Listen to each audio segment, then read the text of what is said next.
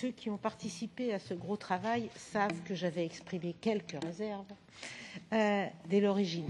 Je suis en désaccord fondamental, comme les membres de mon groupe, avec ce texte. Ce texte, c'est une autorisation de voyage pour tous les ressortissants non bénéficiaires de visa. C'est ce que j'ai appelé depuis le départ un visa low cost. Au fur et à mesure qu'on libéralise plus de visas, on crée des autorisations supplémentaires. Il s'agissait au départ, ne l'oublions pas quand même, avec le premier paquet frontières intelligentes, de faciliter le transit. Aujourd'hui, on écoute bien les uns et les autres, il ne s'agit plus que de lutter contre le terrorisme et contre les migrations. Les migrations du Sud, bien évidemment. Parce que je redis, je suis un peu obsessionnelle sur ces questions-là.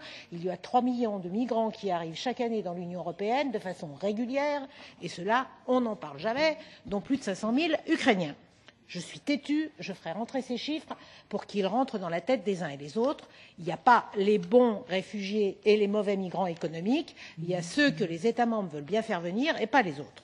Je reviens à Etias. Je me félicite moi aussi de la façon dont nous avons travaillé, parce que malgré ces réserves, je crois que j'ai essayé d'avoir une attitude pragmatique tout au long euh, du travail et que j'ai participé avec mes collaborateurs à l'élaboration des textes. Et oui, je trouve que nous avons acquis un certain nombre de choses par rapport à la proposition de la Commission initiale et, plus encore par rapport à la proposition du Conseil, puisque le Conseil voulait y compris que nous mettions cette autorisation de voyage pour les passagers en transit, ce qui était quand même un comble au niveau de l'alourdissement des, des procédures.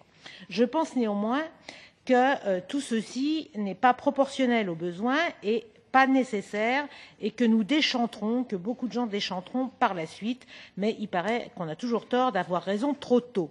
Je veux juste euh, souligner un certain nombre euh, de points qui me demeurent problématiques, quoi que l'on pense du principe même du système. Je trouve que c'est une erreur hein, de considérer euh, ETIAS comme une, condition de séjour autant que comme une condition d'entrée. C'était une autorisation de voyage. C'était une autorisation pour rentrer. La Commission n'avait pas proposé ça. Au fur et à mesure des débats, la Commission, qui n'avait pas proposé ça, a trouvé des jurisprudences pour aller dans son sens. Je trouve que nous changeons le fonctionnement du, système et tous ceux qui travaillent sur ces questions savent bien pourquoi en fonction des obsessions. Et de la même façon, nous autorisons l'accès aux autorités, aux autorités migratoires. Euh, ce n'est pas la même chose que les autorités qui sont chargées du contrôle des frontières. J'ai presque fini, Monsieur le Président, ne vous inquiétez pas. Là encore, on est contraire à nos, à nos principes en la matière euh, sur les principes de nécessité et de, proportionnalité par rapport aux objectifs fixés. La migration, le contrôle des frontières, ce n'est pas la même chose.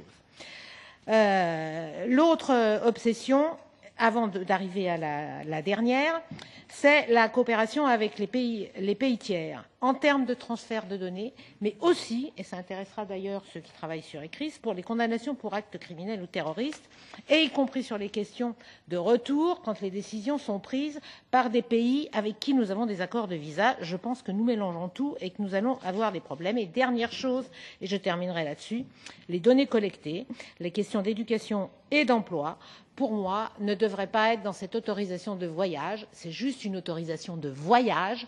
Donc je ne comprends ce qu'elles viennent faire là.